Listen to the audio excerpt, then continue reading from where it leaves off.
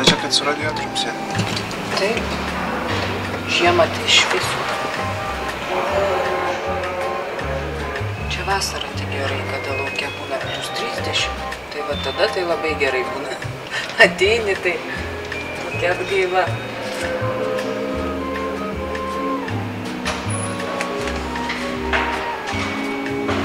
Labas rytas, o jūs? Labas, labai saugiai.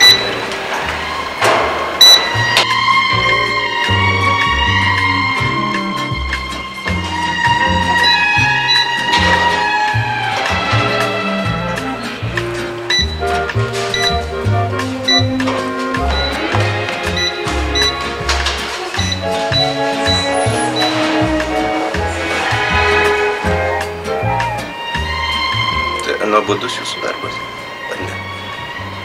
Žinau, kaip man pasakyti. Knygą skaitau. Tai labai nuobodu.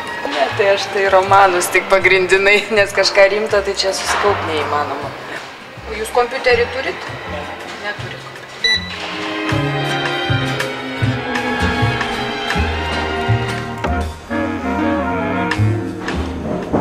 Čia pagal tai, kiek apsikrovė žmonės knygom, atrodo, kad dalis iš jų čia gyvena. Be abejo, tai labai smagu, kad antrais namais tampa biblioteka, o ne kokia nors kitokia įstaiga. Geriau negu alaus baras ar kokias nors panašaus, koks nors klubas.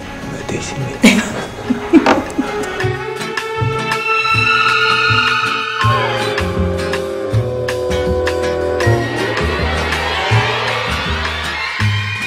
Tai žmonės ten matau ir savo rūpų darė pasilikę. Tai ne, tai neįsivaizduoju, kad sus- susidaryti tokias sąlygas kaip namuose, dar neteko matyti, kad jau ir su savo turtu.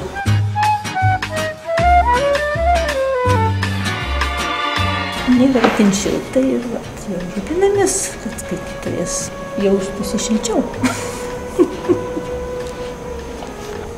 Čia tas gėlės prisižiūri patys bibliotekininkai.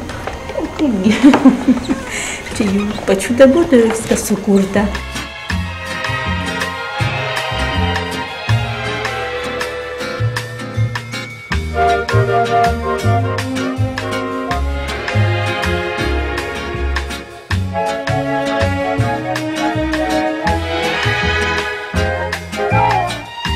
Apskritai biblioteka kaip atvira, paprastai paprasta, šilta erdvė. Na, bent jau tokią bandome sukurti, kaip pasiseka, gal kartais geriau, gal kartais ne taip gerai.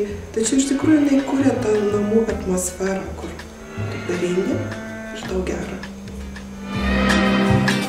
Thank